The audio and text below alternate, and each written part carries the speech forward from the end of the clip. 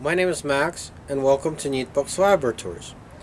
First off, I'd like to say I haven't had a chance to work on these projects in a while or put out any new content, but I would very much so like to say thank you for all the many kind and encouraging comments I've received on the immersion cooling projects.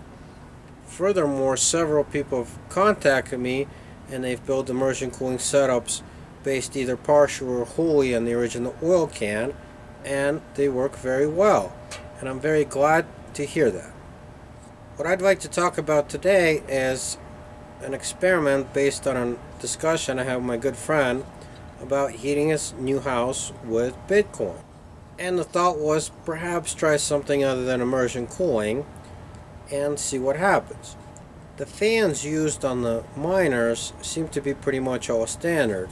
They're these 120 millimeter pulse width modulated fans uh, how they work is the miner sends a chop DC signal to the fan and based on the frequency of the of the pulse width modulated signal that will determine the speed of the fan.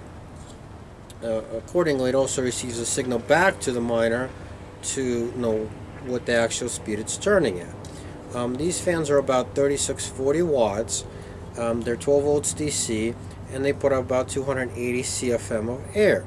However, that is at a zero pressure differential, meaning if you, know, if you put anything in front of it, this airflow will drop very significantly.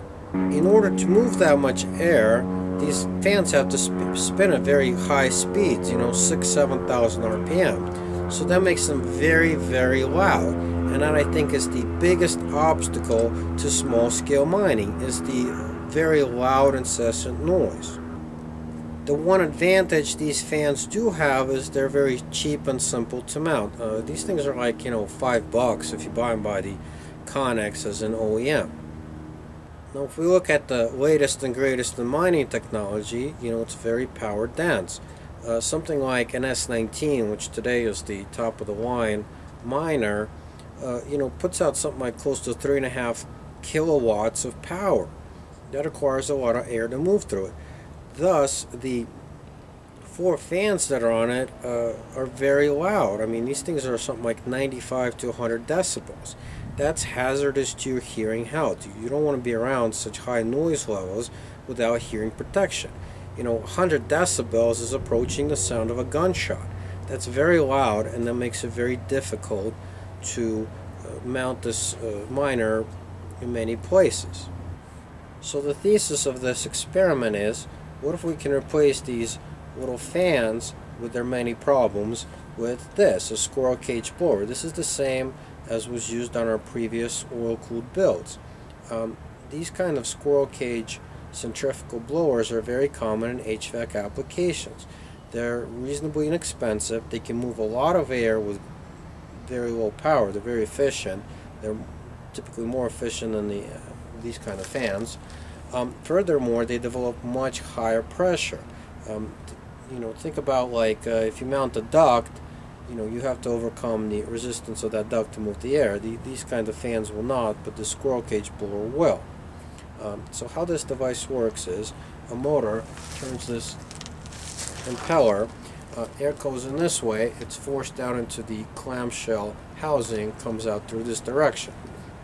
This particular one is a one-third horsepower uh, blower came out of a common household furnace and I got it from my friendly recycler at very reasonable prices.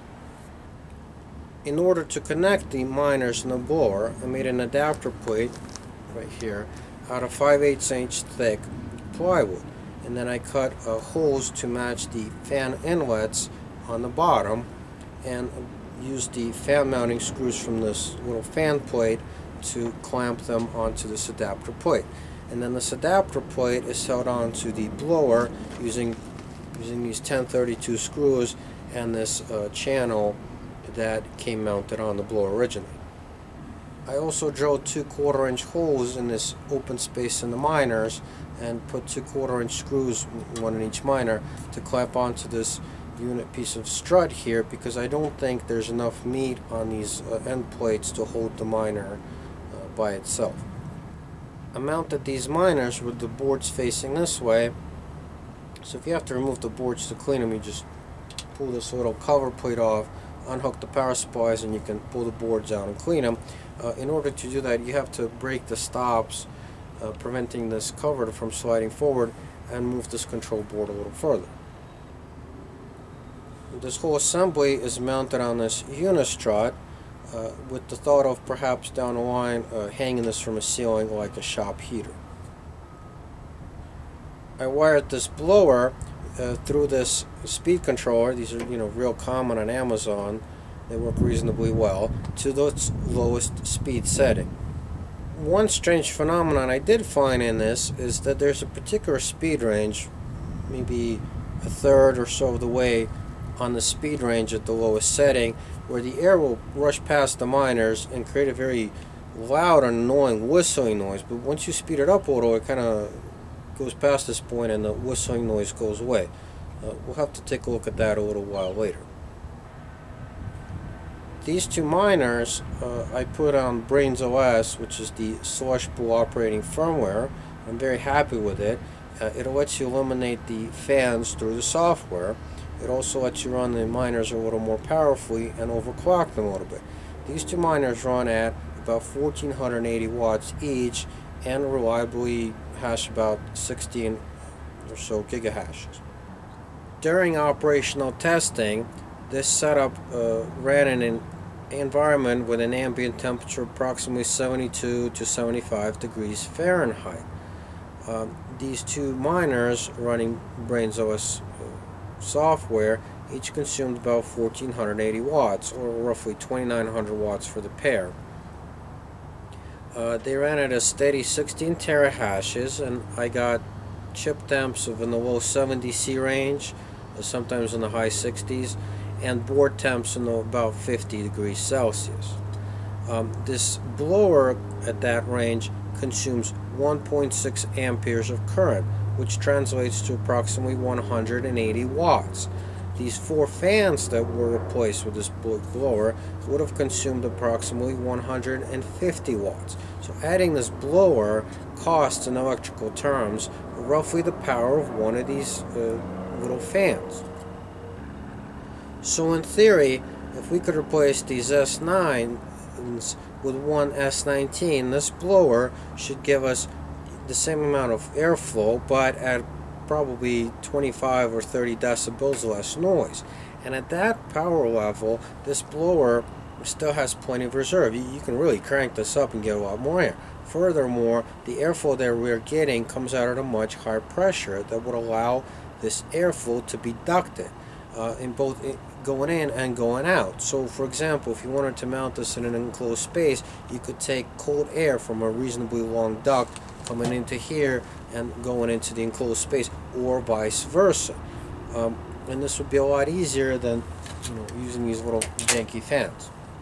So for the next steps, I would like to build an experimental setup which would utilize four S9s and that would roughly approximate the power of two S19s. Uh, I'm working with a very high-end cabinet shop locally to build a such a device uh, we're going to make it a real high quality plywood and perhaps we can look into putting it into production down the line.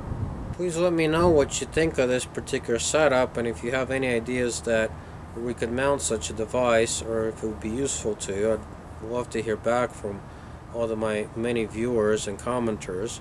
Um, I think this will possibly be a good option uh, as an alternative to immersion cooling in some cases and would prove to be useful. Um, so I hope to have parts, uh, further parts of this experiment out shortly. Uh, thank you for watching and keep mining them cryptos.